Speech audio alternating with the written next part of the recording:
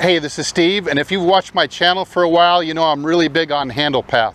So coming up, I'll give you another real simple example of how handle path works so you get a better understanding of why it helps apply torque into your swing so that you can get more distance and accuracy. Stay tuned.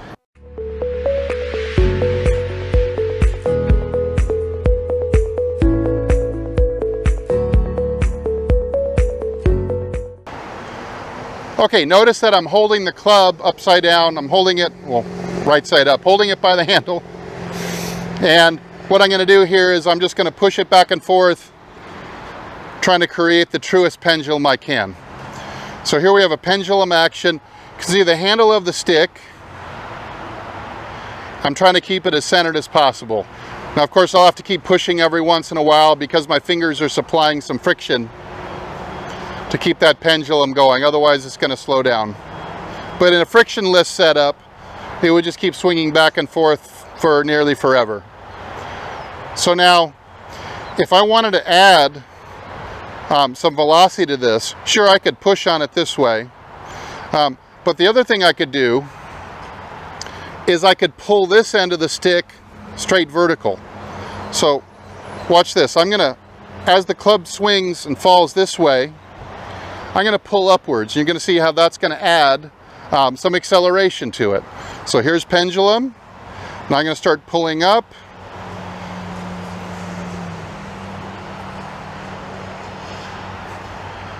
And see the swing higher? So the further I pull upwards in distance and the intensity or the rate at which I accelerate the handle upwards transfers into this end of the stick. So we actually, by manipulating this end, we made this end go faster. Okay, we'll try it again. Straight up.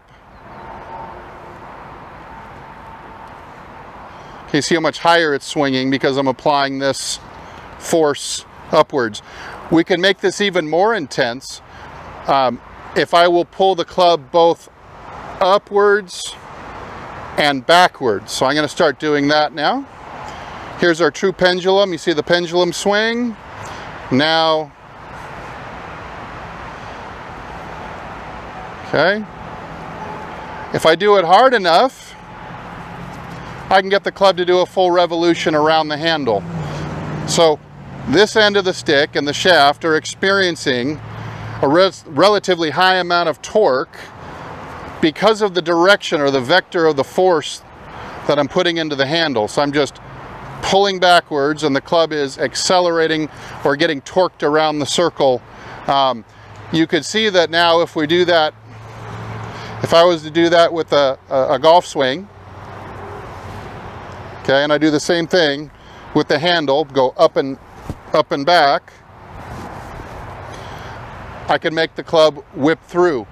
So that has implications for both your club head speed, but also as I do that with the handle, it causes the club face to come around and square up so you won't leave it open and you won't have to flip it over going through. It just naturally wants to square up and stay, the face wants to stay on line with the arc a little bit more. So just a simple little experiment there to help you understand the effect that handle path has on the swinging club head. Um, I hope this helps you understand the concept better. Uh, like and subscribe, and I'll see you next time. Thank you.